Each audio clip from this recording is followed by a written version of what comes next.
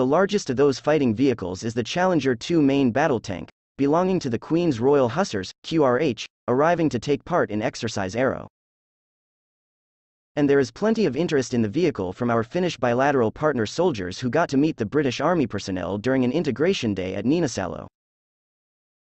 Being in Finland is fantastic for the regiment, said Charmaine, who lives in Tidworth, has been in the army for four years and is also a qualified gunner and loader.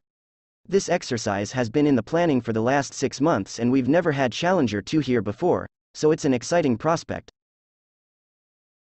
Citing from the British Army website, Exercise Arrow is a two-week long training exercise that aims to develop Finnish Defence Forces ground combat capabilities and the ability to operate joint fires, alongside international allies.